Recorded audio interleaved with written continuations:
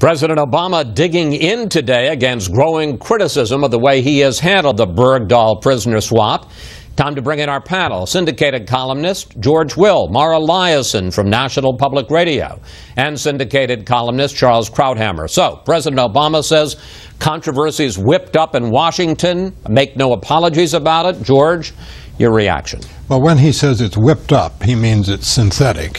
When he means it's synthetic, he means it's inauthentic, which means it's yet again a recurring theme in his presidency, which is that there's no such thing as honest, intelligent disagreement with him.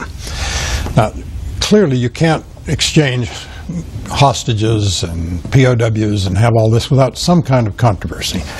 And if this is whipped up, the project of whipping it up is remarkably bipartisan to take just two examples, both senators from West Virginia, Jay Rockefeller and Mr. Manchin, are clearly disturbed about this. Jay Rockefeller is no rookie. Manchin's in his first term. Uh, Jay Rockefeller is the fourth most senior Democrat in the Senate.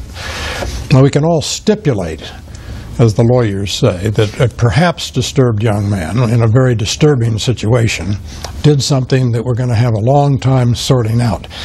All this was based on, the president in the same statement went on to talk about the health of uh, Bergdahl, is based on the analysis from afar of a 90 second video.